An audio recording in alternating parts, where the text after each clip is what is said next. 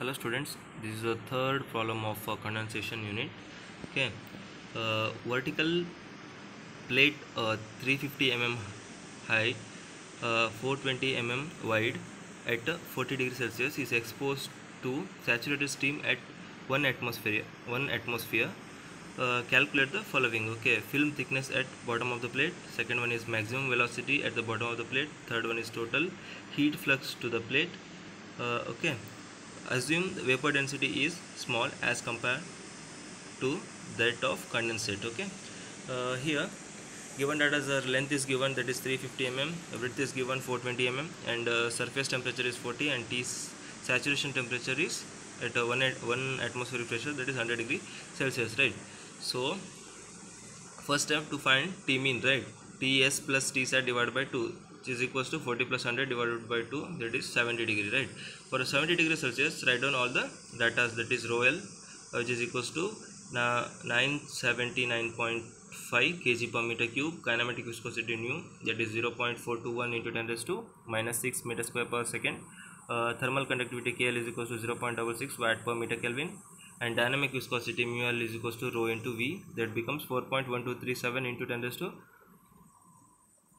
tends to minus four newton second per metre square eight and next at T sat hundred degree Celsius right down h f g value that is two two five six point nine kilo joule per K G converted into joule okay so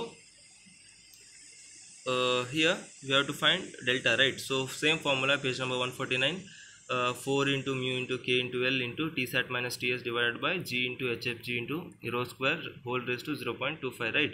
So substitute all the values you will get uh, 1.81 into 10 raised to minus 4 meter that is delta at x equal to L okay?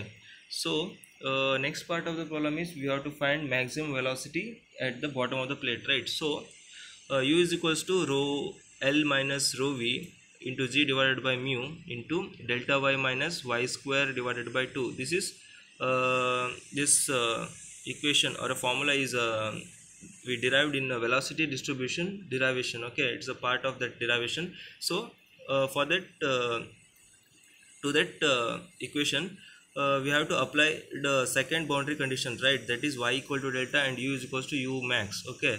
And here in the question also in the question they have mentioned that uh,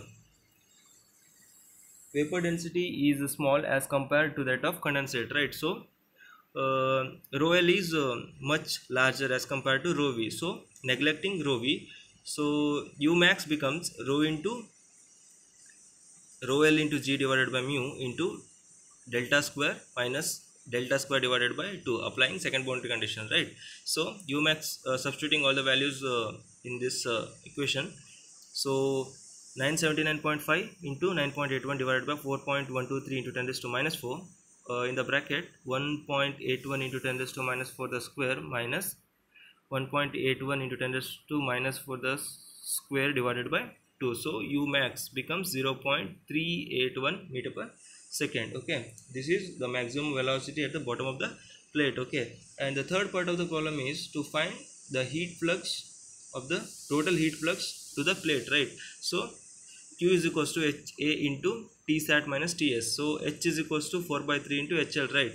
So 4 by 3 into hl k divided by delta l right? So 4 by 3 into 0.66 uh, divided by 1.81 into 10 raised to minus 4 so h becomes uh, 4861.878 kilojoule per kg okay? Substitute this h value in uh, q formula. So q becomes uh, 4861.87 into 0.35 into 0.42 into 100 minus 40 so q is equals to 42881.76 watts okay thank you